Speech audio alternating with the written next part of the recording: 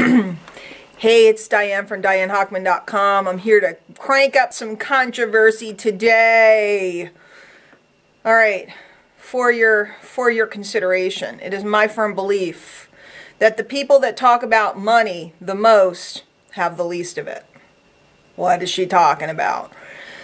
I go on Facebook, I go on YouTube, I go all these places you know, and I'm, I'm a social media queen. That's what I do. And I'm always watching all these shots of people with their, you know, showing their checks or I just got paid or here's, look, ma, you know, I always think it's like, look, ma, I made money.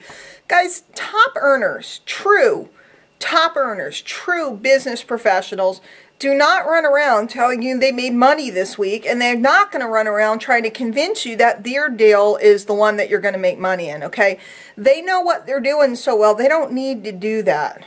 And I want you to really think about that. You know, it's funny, I just hit, um, you know, double six figures in another program and this, that, and this and that. I don't run around and scream about it because here's the secret. That's what businesses are supposed to do they're supposed to make money.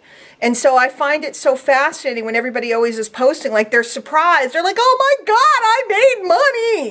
Guys, you're supposed to make money. And when you align with people that know how to make money, that know how to run businesses, and you train up to become a true professional marketer, you're not going to be surprised. It's going to be normal. You're supposed to make residual income. Okay. When you build a residual income, it's supposed to come over and over and over. And here's another secret it's supposed to last, it's supposed to keep coming. So I just don't get it. And, you know, I've had more than one person tell me, but that's the best way to, uh, you know, that's the way they recruit by showing people the money. You know what, guys? I don't want to recruit you if that's what you're looking for. Okay? I don't want to work with you. I don't want you as a client. I don't want you as a team member.